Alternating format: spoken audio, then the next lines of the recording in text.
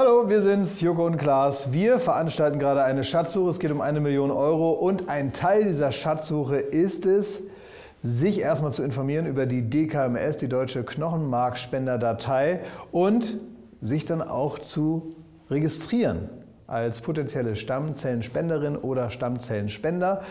Denn wir probieren einen Rekord einzustellen. Innerhalb von drei Tagen muss der Rekord der Neuregistrierungen gebrochen werden und gleichzeitig möchten wir, und das ist genauso Teil der Aufgabe, die DKMS und alles, was damit zu tun hat, in alle Munde bringen. Das heißt, alle müssen darüber sprechen und da seid ihr gefragt. Genau, und wenn wir von in aller Munde äh, sprechen, dann meinen wir auch äh, Folgendes, nämlich ein solches Set können Sie sich hier bestellen auf der Seite.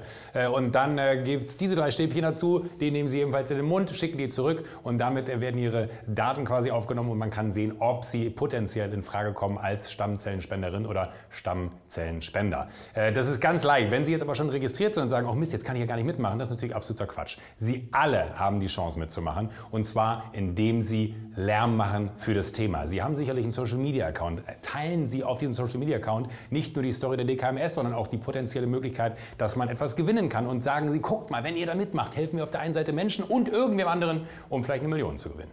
All das, Freude auf ganz vielen verschiedenen Ebenen, wenn ihr und Sie mit dabei seid. Bis dann. Vielen Dank.